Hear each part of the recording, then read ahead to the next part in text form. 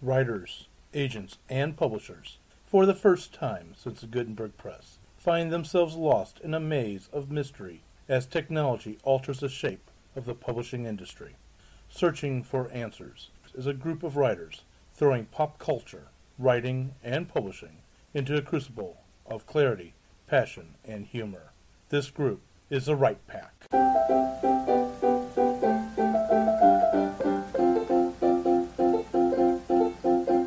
In this episode, we are starting the first of two parts discussing everything about agents. Stay tuned. Welcome back to Write Pack Radio. This is your host, producer, and so forth, David Allen Lucas, president of St. Louis Writers Guild, president of Winding Trails Media, published author of short fiction, still trying to get himself in the novel area. And with me today is not my lovely co host because she is off this episode, but with me is the one and only artist herself, the grand mastery, master of the illustrations. I, I'm not the only artist, but I am for hire. there you go. My name is Jennifer Stolzer. I'm a children's book author and illustrator. I have a fantasy novel that I've self published without an agent. It's available on Amazon currently called Threadcaster. And I have a couple picture books that I've self published without an agent that is also that are also available online on Amazon. And all of those are available at Main Street Books. If you would like to get a signed copy, then go through Main Street Books because I've signed every copy they have on their shelf, and you're also supporting a, an independent bookstore. Exactly. And also with me is my lovely wife. Hi, I'm Melanie Lucas. I am currently working on a novel, and no, I haven't tried to get an agent because I understand you don't really try and get an agent for a fiction novel until you know it's done. So, And that's a good point. We'll talk about it later. Also with me is the president of Missouri Writers Guild. Yes, uh, my name is George Sirois. As David said, I am the president of the Missouri Writers Guild until May 19th, and then I am uh, passing on the reins to uh, to another uh, lucky person. Um, and I look forward to uh, seeing as many people as possible at the Missouri Writers Guild Annual Writers Convention, uh, Writers Conference. I'm sorry, I'm a little tired. Being a father has something to do with that. Um, and um, yeah, we look forward to seeing you at the Hilton Garden Inn in Columbia, Missouri on Saturday, May 19th. Uh, it's going to be a great time. And um, I'm also the author of science fiction for the young adult reader, including um, Excelsior, which is currently available on um, paperback, ebook, and audiobook. Uh, the five part uh, serial from Parts Unknown, um, which is currently available in paperback and ebook, and the upcoming Ever Upward Part 2 in the Excelsior Journey coming out spring 2018. Yes, spring 2018. I am, promise you, it is coming out in spring 2018. it's your fault. You're the winter winter winter winter is never ending. right. You're Jack Frost, And, you uh, and your production schedule. Yeah, who knew, right? Um, but uh, for more information, just go to my website at www.he'sgotit.com. Excellent. And also with us today is the Sky Pirate Admiral of Steampunk himself. I'll take it. Yes, I'm Brad R. Cook. I'm the author of the Iron Chronicles, uh, Steam Tree, the Erdranium Adventures, and now Tales of the Gear Blade. Uh, and also, I'm announcing this here, and uh, you know it's everywhere as well. Uh, if you are a writer person out there, uh, which if you're listening to this, you probably are, uh, I now also do a bunch of other stuff that I've been doing for years in the background, uh, and now I'm kind of opening it up for freelance and stuff like that. So if you want a book cover, I do custom book covers. They're really cool. You can go check them out. Uh, and if you need formatting for ebooks or print books, print books more importantly, because that's where the uh, the, the crazy real, uh, you know, mm, meat of all that laying out is. Uh, there's a whole ton of other stuff, including websites and web design, signs and postmarks, bookmarks, rack cards, all kinds of fun stuff. Check it all out. It's at bradarcook.com and at uh, broadswordbooks.blogspot.com. All right. And also, too, since George mentioned Missouri Writers Guild Conference, I would be negligent to mention Gateway Con. Not to Not to mention. mention Gateway Con. Sorry for the audience. After a four plus hour drive today to get to the recording today. Like George, I'm tired. Anyway, Apparently, everyone is tired. yeah, well. Gateway Con, the Gateway to Publishing Conference and Convention, which includes a full blown writers conference with agents that you can pitch to, as well as publishers, a free and open to the public book fair, and a free writers retreat. For details, go to www.stlwritersguild.org and click on GatewayCon. It will take you to more. All the information. This occurs from June 15th through 17th, 2018. And if you miss this year, well, there will be next year. And with that, today we're going to talk about agents. And we're going to talk about everything to do about agents that we can talk about. This is part one of two parts of a two part episode. So, agents. In the current industry, we've got a change, and this is part. This is part of the things that drives Write Pack Radio itself. We've had an industry revolution that occurred. Oh, I could be wrong with the dates, but I'm gonna call it ten years ago, just to play devil's advocate, plus or minus five years on that. Um, just because I'm, I really can't pin it. Where people have stopped necessarily thinking they thinking to rely on agents to get their works published, self-publishing or indie publishing has become a thing where it's become more of a more legitimate than it used to be back before the internet and before Amazon came around. So why do people Before need Amazon. agents? Yeah, before Amazon, mm-hmm. definitely. Why do people need agents? What do, what good are agents? You know, start from there. Brad, you got your indication you want to talk. Yeah, uh, to throw it out there, it's probably uh, Hugh Howey and Amanda Hocking. Uh, if you really want to put a date on when this explosion happened, you're probably looking at their publication dates when both of them ended up making tons and tons of money off of their self-published books. Uh, they were really some of the first to make tons and tons of money off their self-published books. Uh, if you want to go read about it, there's a ton of blogs out there. I'm certain I remember reading a ton back when it was happening.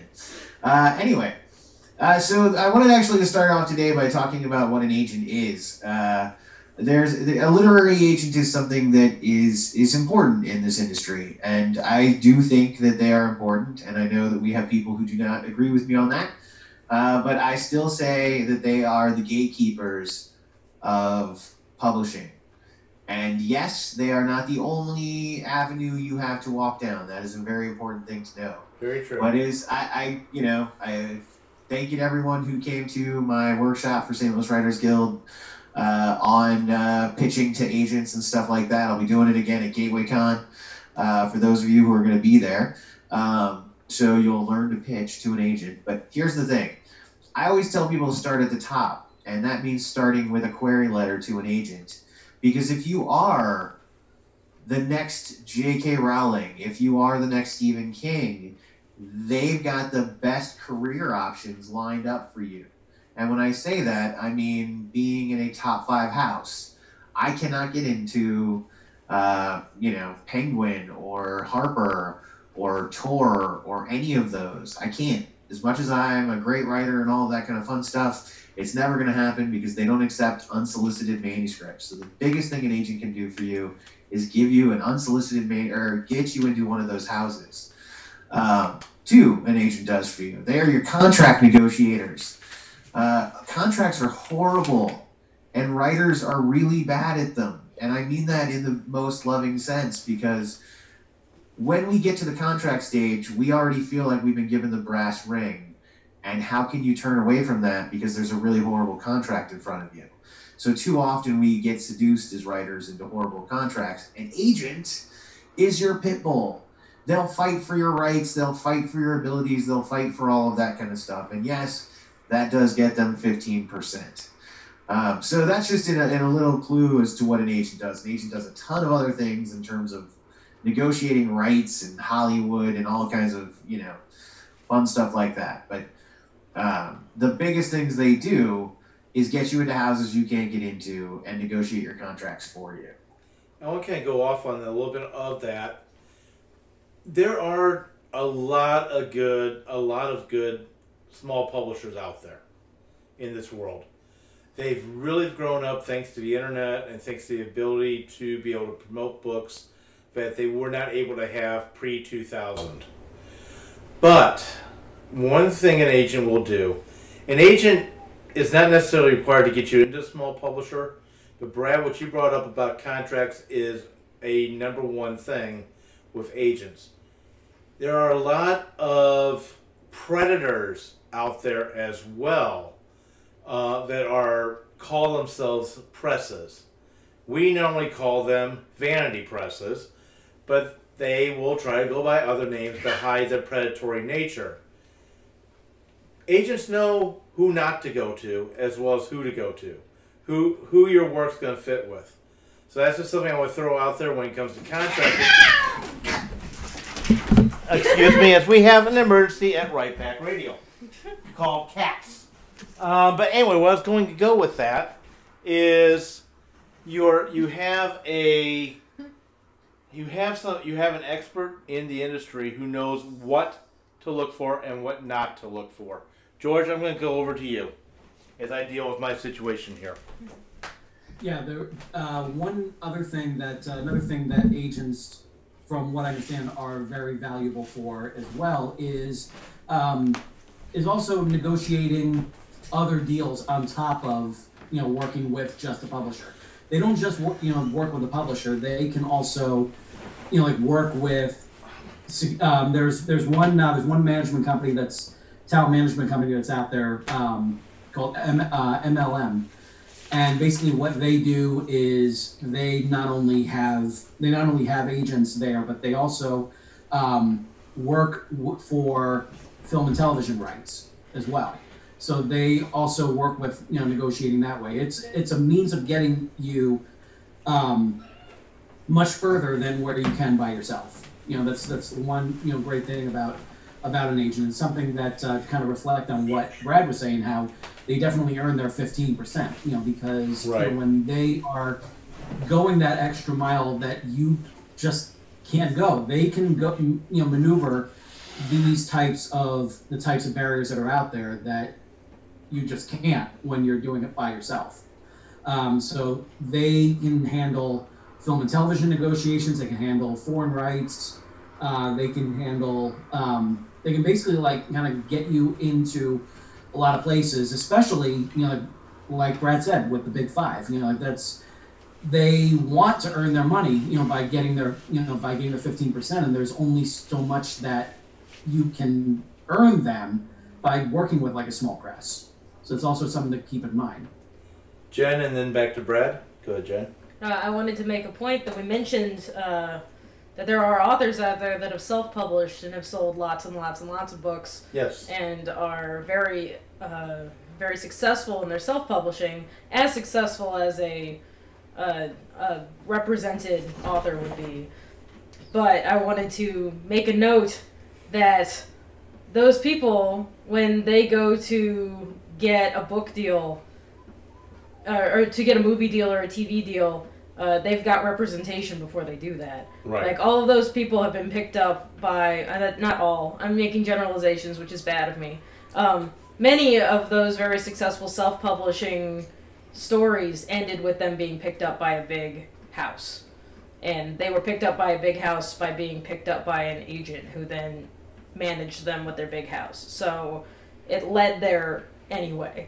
Right. Brad? Yeah, uh, I mean it's a good point, but I, I think the big point to point out to our, our listeners here in terms of going after an agent is that it, it really does fall under what kind of uh, book you've written. Um, you know, obviously the big five publishers, the main publishing houses, are all looking for certain kinds of books. Uh, you know, stuff that's going to have mass appeal, the stuff you see in bookstores, the stuff you see in Barnes and Nobles and stuff like that. Uh, you know, the the giant biographies, uh, any celebrities book, you know, anything like that is, is obviously going to be the, the big draw. Um, but that also means that if you've written YA or romance or any of these others, you have a really good mystery or thrillers or uh, and such. You have a really great opportunity of getting an agent.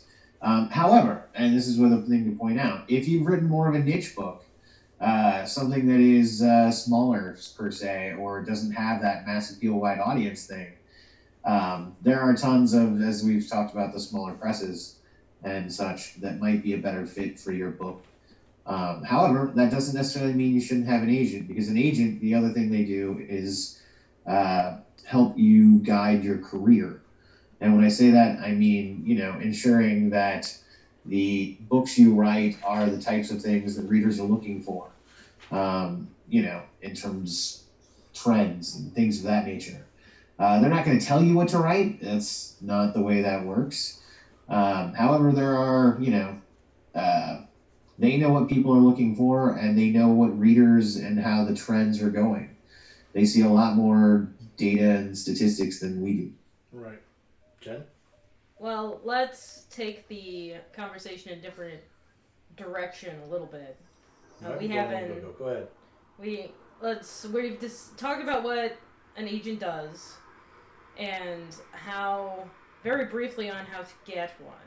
Mhm.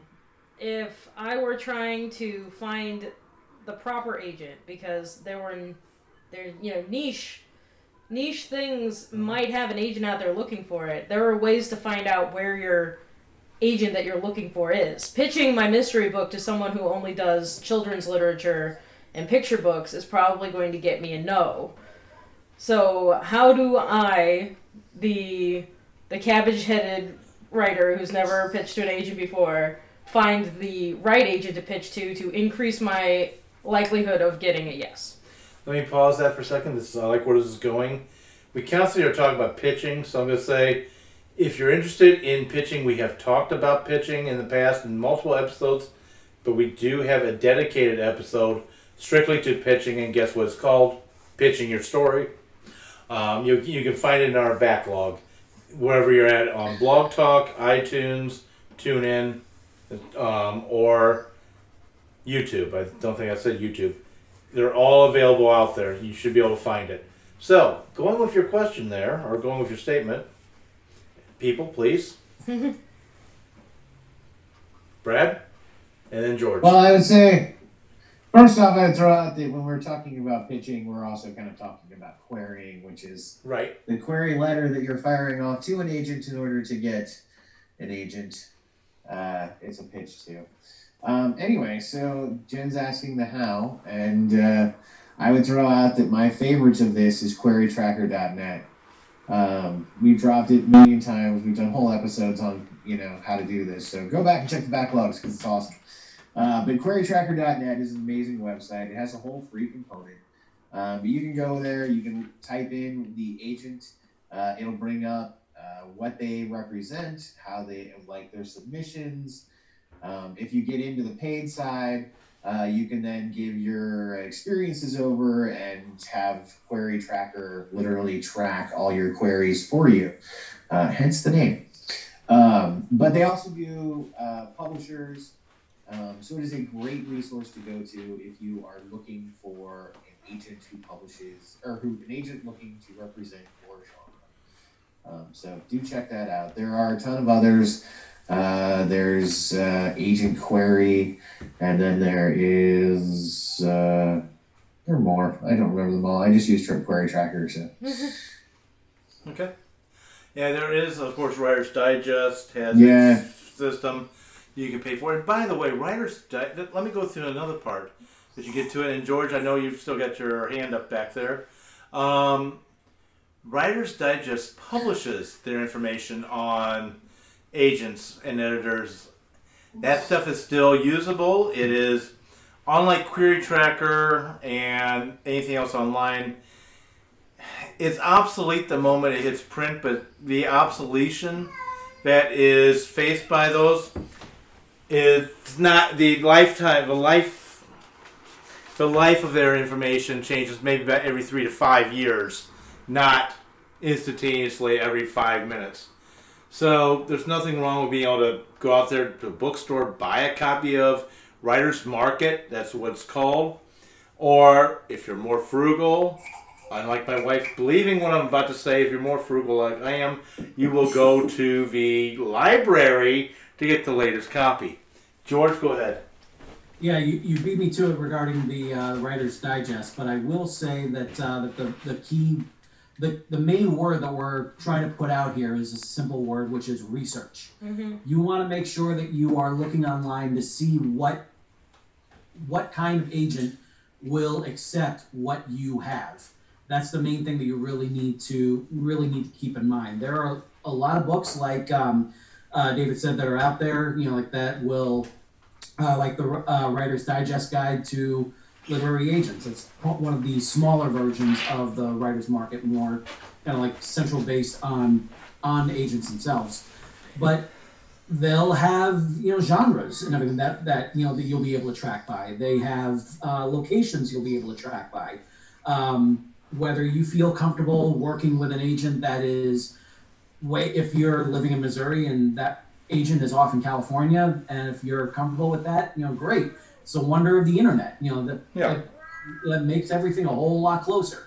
So um, one thing that I would d- just definitely say is just like just um, just do your research. Make sure that that what you are that what you have matches what they're looking for.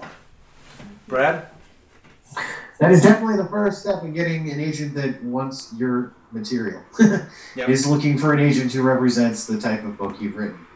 Um, I, I would highly recommend going after an agency, uh, maybe not just an agent. Um, an agency has multiple agents and uh, they do different things. Some will handle foreign rights, some will handle uh, Hollywood rights, some will handle, you know, the different things, uh, contract negotiations, the looks and stuff like that.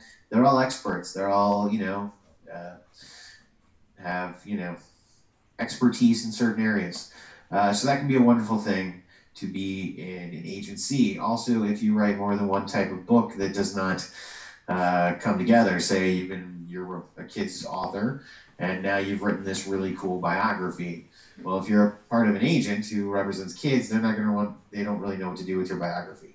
Right. Uh, but if it's an agency, there might be another agent in there who does represent biographies, ergo can represent that book, and now you're making all kinds of money. Uh, so that can be a wonderful thing. I, I highly recommend going after agencies. Uh, it is also um, a good way to avoid the bad agent. Uh, there are people who misrepresent themselves as literary agents as a way of taking your money. Um, the most common way of this, and uh, the one I find the most scrupulous, unscrupulous, is uh, they will take you on as a client and then get your book into a pay for profit like house. So the agent then you now have to pay X number of dollars to your publisher to get published. Um, it's the worst in of the ways, but there are also agents who literally just shop you out to whatever small press you could have gotten yourself into as well. Yeah. Um, at that point, that's not really the point of having an agent. Um, other than the contract negotiations and all the other things that they do, um, I do not have a problem with agents repre- or sending out to medium houses, small houses, niche houses. They're supposed to land your book, and if they can, that's the beauty part. But there are unscrupulous agents who will charge reading fees, charge you all kind of money. Um, just put a great there's a great post out from Writer's Digest about how money needs to go to the author, not from the author. I highly recommend checking it out. It's like the 13 reasons to avoid something. Uh, it's in St. Louis Writers Guild's Facebook page right now. Okay, actually, let's go with that. Um, Jen and I actually both had our same same thoughts go through as Brad was talking. Let's talk about what not to expect from an agent briefly. And one of those things is you shouldn't be having to pay money up front for an agent to do work for you.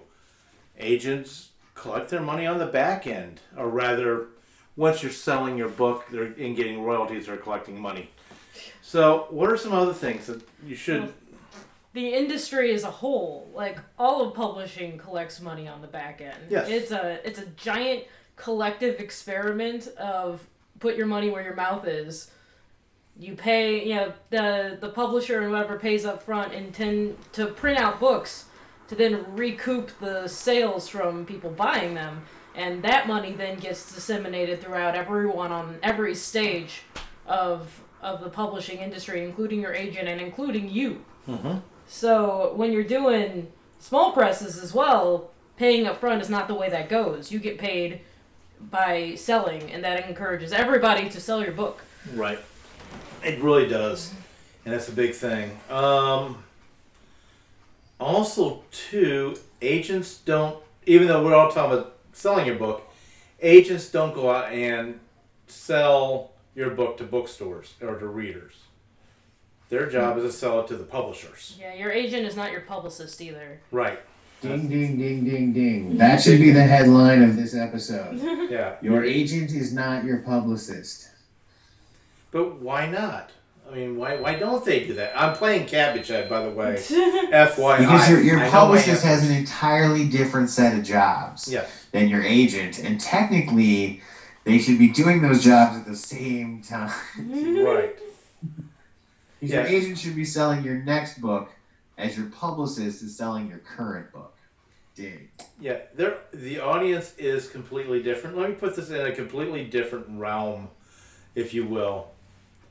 If you're going to go play soccer, you want a good coach who is going to help you improve on kicking the ball, not how to swing a golf club. Your agent is always focused on getting you that next deal. Your publicist is focused on your current book, getting it out to get the market to sell. And that's why I'm using those using that the two different skill sets is what I was trying to point out. Go ahead. And uh, since I know this isn't a talk about publicists, Right. but I think it's important since we're on the topic to mention that not that your agent doesn't come with a publicist most of the time. Right. And your publisher doesn't come with a publicist most of the time. That is a separate person that you're going to find to hire to do this thing for you. And it's When you It's- get big, it's the president of your fan club. yeah, yeah, exactly. Yeah. Uh, there are many ways you can do that. We can talk about that on a future episode. But a lot of people that I talk to get an agent thinking the agent is going to act on their behalf for that kind of thing. That they're Right. going to post on their social medias and they're going to arrange book signings and tours and things. And that's not what an agent is for. Exactly. Some of them will help because they love you. Because the the whole the hope is that you're you have a friendship business relationship with your agent and you both want to succeed together. But don't get an agent for the purpose of having someone to help you with that portion. Get a publicist Right. with the intent of getting someone to help you to with that portion of publishing. And let me throw in here too. I, I love what you just said in regards to the relationship with an agent. So let me throw this part out to it. You can be buddy buddy with your agent. okay? But one thing that you really need to remember is they're a business partner.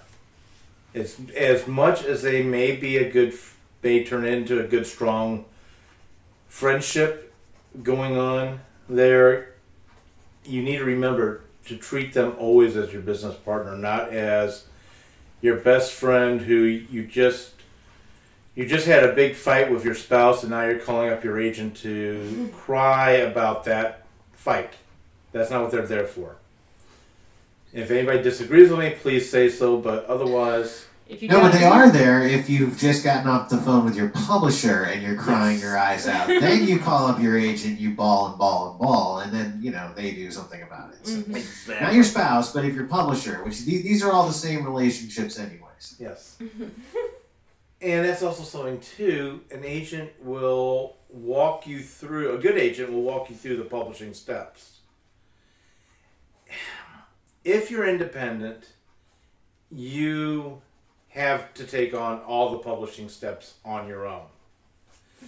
Arrange for somebody to get a good book cover. Hopefully, you get an illustrator who knows what a good book cover looks like Jennifer Stolzer really does know what a good book cover looks like. Just give you a hint, and so does Brad. As does Brad Cook, who is currently. is- I was Yeah. just saying. Who's as launching. illustrator. Illustrator. So if you're wanting an illustrated one, you got to go after Jen or hire me, and then I'll hire Jen. Right. Yeah, you could split the difference and Yeah. get me to illustrate something that he then puts together. I won't be Right, offended if you decide to Exactly. to I totally have that. Basically, That's like, a whole either way, thing. you're getting Jen. Yeah, exactly.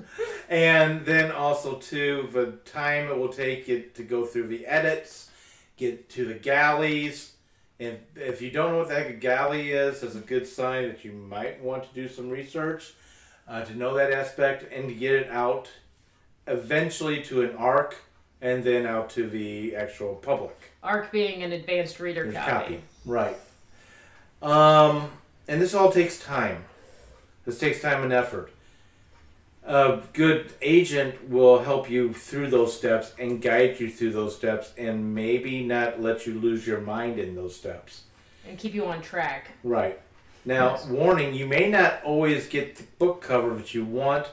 If you have doubts, look at Angie Fox's first um, book. The well, book covers are entirely controlled by the publisher. so- Exactly. And that's to put that point blank. But But the you author does get some some say. Yes. You know, and if you wanted to fight with your publisher about your cover, the That's agent will the help you with there that. Exactly. And that's the beauty part because you'll be like, God, I hate that cover. This is the worst cover I've ever seen. But I don't want to tell my publisher that because they're really nice and friendly and I want to have a nice working relationship with them for like the next umpteen years. So your agent goes forward and goes, Yeah, this is a horrible cover. This is really ugly. You're going to redesign this. We don't care that you spent a $1,000 on it. You're going to spend another $1,000 and get a really good cover. And then they'll go, uh, and then they'll be like, you know, then your agent fires back, well, no, you're going to do this. And then they're like, okay, we're going to do it, fine. You get a new cover. So this is what agents do, because if you were an author, you would never get that. You, an author would call up and be like, I don't like the cover. And they'd be like, yeah, we don't care. And let me go, let me go with that briefly because I, get- I have a, an example. I don't believe the person who I'm referring to, I'm not going to mention names, but I don't believe they listen to us. But even if they did, maybe this would help them. Hmm. there is a author who I know who likes to se- promote their book to be like Harry Potter. There's nothing wrong with that. You know, if, if you've written a book that's in the Harry Potter esque feel, cool, go for it. But when I look at their cover, I get the Alice in Wonderland feel. It is not a cover that fits. And where I'm going with that is an agent is a specialist in your genre, and they will they'll look at your cover as well and go, uh, yeah, there's a problem here. This doesn't fit. Well, since we're we're talking about this this possible scenario, uh, take this as an example for all steps in publishing. Yes. If you have a problem with the title that they picked, then there's this fight that's going to go on again. If you have a trouble, if you have trouble with uh, some of the edits that they're suggesting, this is the fight that goes on again. Uh, it, it, this is how this happens. But I also wanted to point out that as a an independent person who's enlisting the publishing services of maybe a small house or a middle house that doesn't require representation, you will still have this fight. It's just Yes. that you're the one fighting it. And I- here- I've heard from lots of uh, of people, even just recently, that have been in long email and phone battles with their publishers because the publisher is making a decision that they think it's very unwise, and they're doing everything they can to try and get it undone before it then reflects badly on them as an author, and it's very stressful. And if they had an agent, then the agent would take fifteen percent of of that small business arrangement, but they would then be your intermediary and be the one answering those emails for you and giving you the bottom line and asking for a yes or no answer instead of having to email back and forth with people who are all trying to get their way. And along those lines, this is exactly where you're going. Mm-hmm. The agent is also able to explain maybe better than the publisher as to why the publisher is going down a certain route.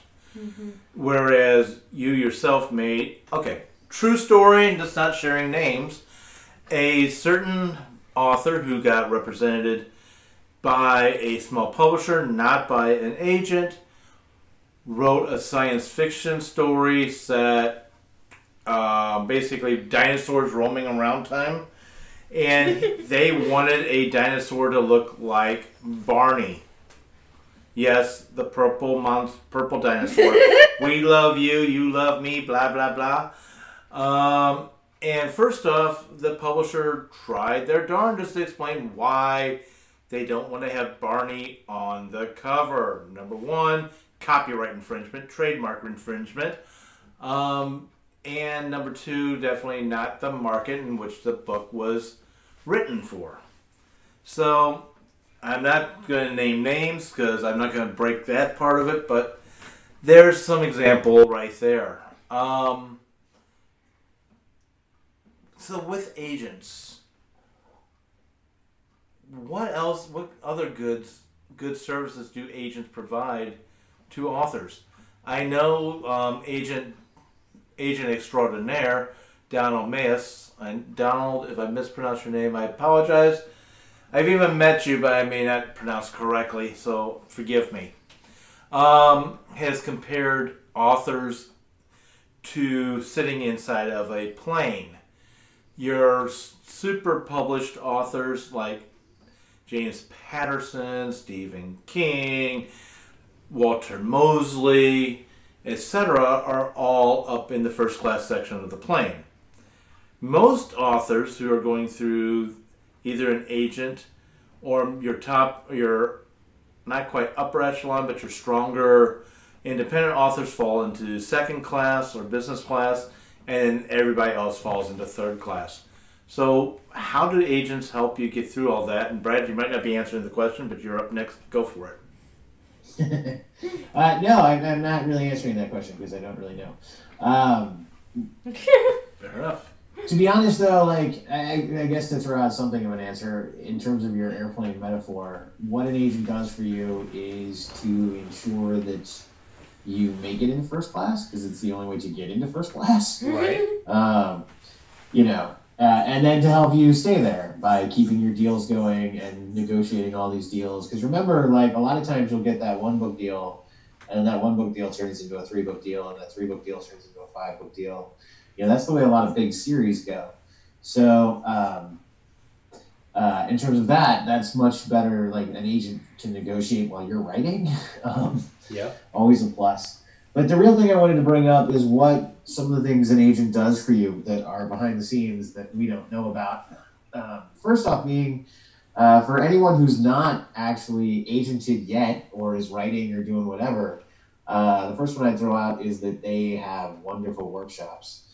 Um, Writer's Digest puts the agents up all the time to do query letter workshops, opening workshops, how to hook people, how to make, you know, uh, it, Dave just brought up Donald Maass, uh, who does a great one on uh, writing the breakout novel. He's got a whole book on it. Uh, actually, two. So, you know, two good books on it. Yeah, actually, yeah, no, no kidding. So um, they're a wonderful resource for writers who are trying to finish novels and get in there. If you don't follow them on Twitter, I highly recommend that because they're constantly talking about books and talking about like you know what works and what doesn't work and what they want to see and what they don't want to see. And um, and then if you're not on like tumblr where they do the ask anythings and you can just ask questions away uh, those are amazing to read through and so much fun. The other thing this is the big one though. So there are publishing conventions out there that we as writers don't necessarily go to. Um, bea being the biggest which is book expo america which is in New York and is the Comic Con, San Diego Comic Con of Book World. So if you ever wanted to go and cosplay up like crazy, uh, BEA might be for you. It's where all of the publishers show up. They have giant displays and giant booths, and every book that's coming out next year and the year after that is there on display. And publishers are talking about that. And here's what agents do they walk around and talk to all the publishers and figure out what the publishers are looking to publish next year. And it's a whole conversation that begins. Um, this happens not just at BEA, but all over. Uh, it is where the industry, if you think of it like the fashion industry, uh, the book industry is the same. Where the top tier, where the 1% kind of drives, the rest of the industry follows in the wake. Um, it's the same same thing as in the fashion industry for the publishing industry. So decisions made at BEA and at uh, IBPA and at the Midwest Publishing Association and at the big one over in London that happens every year that I can't remember the name of, and then at the ALA. There's they all have amazing anagrams. Uh, but the point is, is that this is where the industry makes decisions on, you know, what colors covers are going to be and where uh, trends are headed in terms of what people are reading, and that's not. I mean, that is for the next coming year, but that sets up for the next year following, and like the next three to five years in publishing. Right. So it's it's it's an amazing thing that they do on their side, of the business side of writing. Writers are amazing at putting words together that are beautiful and create stories and characters that we will love for generations. Hopefully. They're not so great at the business side where all the nuts and bolts come together and where books actually get put together and all the trends get set and all of that. So that is a business side. There, there are always two sides of writing to me. There is the writing side, and then there's the business side of, of the publishing industry, and they are masters of the business side. And you know, it allows a writer to focus on being a writer. Right. Really fast, I just want to go, and I'm going to turn this over to Jen. And we'll end up closing out with Jen's comment on the end of part one. Next week will be part two. But really fast, if you have that streak in you that's like, no, I will not go down an ancient path. I refuse to. Hey, I, I, I, I know I sound like I'm making fun of you. I'm not. Honestly, I'm not.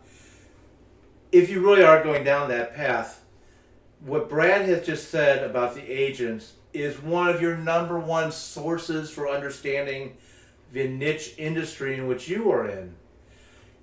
Just because you don't want to go down that traditional path doesn't mean you can't profit from understanding the business and that they are seeing out there. A book to go through a traditional publisher takes approximately two years, plus or minus, on that. But two years is a good rule of thumb. Agents are looking beyond that, and so should you from your business end of a writing industry. And if you are an independent writer, no, just publishing a book and expecting the world to find it is not going to happen. You have got to take on the role of all the business on that. Over to you, Jen. Again, we're of like mind today, David. I was going to point out that there are some people that actually are good at the the business end as Uh-huh. well as good at the putting words together end, and they have a passion for both, or at least a passing interest in both. And that that might make you a good candidate to go uh, fly free agentless Right. because then you'll be able, you know, you'll have full control over everything, which people who who know a lot about both ends and have a passion to do it themselves tend to want to have control over all the aspects Mhm. your cover your your interior your advertising your web space uh, all of that. Uh, you will have to take control of it if you go by yourself. You'll have to be in charge of all of those things. But if you're up for that challenge then you you may also benefit from having an agent uh, if you think about it. Because you will be able to use all of that prowess that you have to enhance the benefit of being represented on a top tier level. And on that note, we're going to pause here. Tune in next week for part two. Have a great week writing, and please like and subscribe on whatever platform you listen to us on, and share it with your other writers' friends. And to those who have commented about how we've helped you with your writing, or we are part of your personal writing community, you could not touch our hearts more. Thank you. Take care. The new theme songs for Write Pack Radio were written and performed by Meredith Tate. All copyrights remain with her.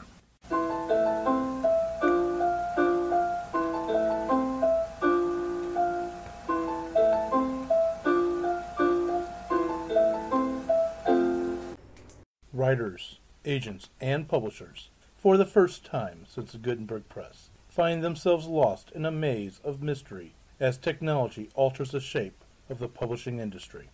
Searching for Answers is a group of writers throwing pop culture, writing, and publishing into a crucible of clarity, passion, and humor.